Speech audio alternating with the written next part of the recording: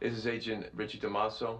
I'm placing $75,000 into this briefcase for Mayor Carmine Polito to procure casino license and building permits for Atlantic City. I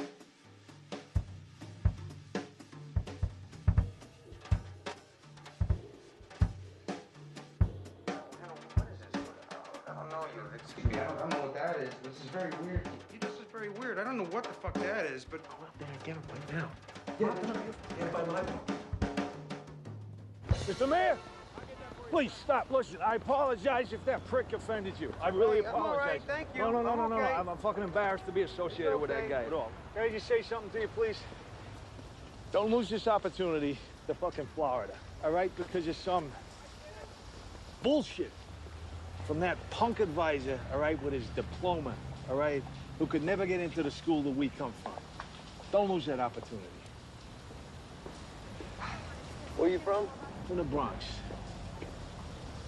Grand Concourse, 164th Street. Got a lot of friends that live up there. Yeah, I go to Tomaso's on, uh, you, you know Tomaso's on Arthur Avenue? Yeah, the clams. The and clam, the spicy. Yes. clams. Oh, Oh, the fucking Yeah. die for those Yeah, yeah, things. yeah, yeah. Yeah, I haven't been there in a while. I like that place.